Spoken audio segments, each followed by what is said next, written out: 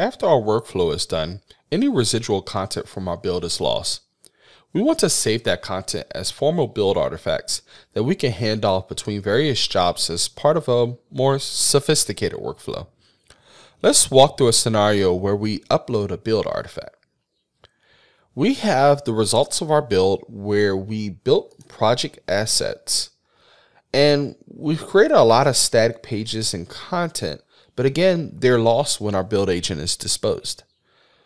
This is something that we really want to keep so that maybe if we want to review the results of a build, we could, or if we wanted to um, use this in a subsequent job, we could.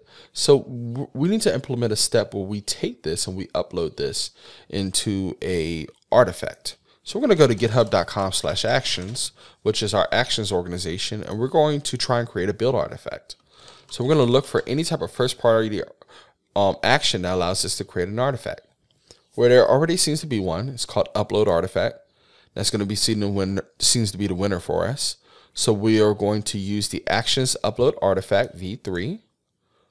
That takes in two parameters, the name of the artifact and the path to either the individual file, entire directory, or a wildcard pattern.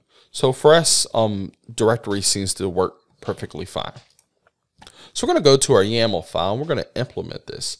So we're going to create a new step named upload static site content. And we are going to use the uses keyword. And here we're going to put in actions for the actions organization, upload hyphen artifact for the upload hyphen artifact uh, repository or that action, and at v3 for the version. And that, um, if you're not familiar, is a branch.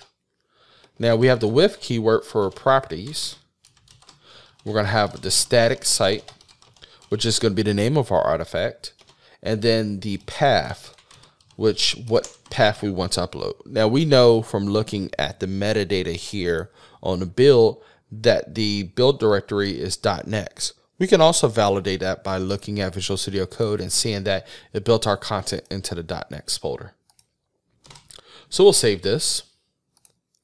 We'll create a new commit called upload build artifacts commit that, sync our changes to our remote repository. We will go up to GitHub Actions, check out, check out Upload Build Artifacts. We'll wait for an agent with Ubuntu latest and let it run through the rest of the steps where we'll install dependencies, build our project out, and then upload our static site content. So there we go. It's building out the Next.js project. And then it's going to take all 154 files and upload them as an artifact named static hyphen site.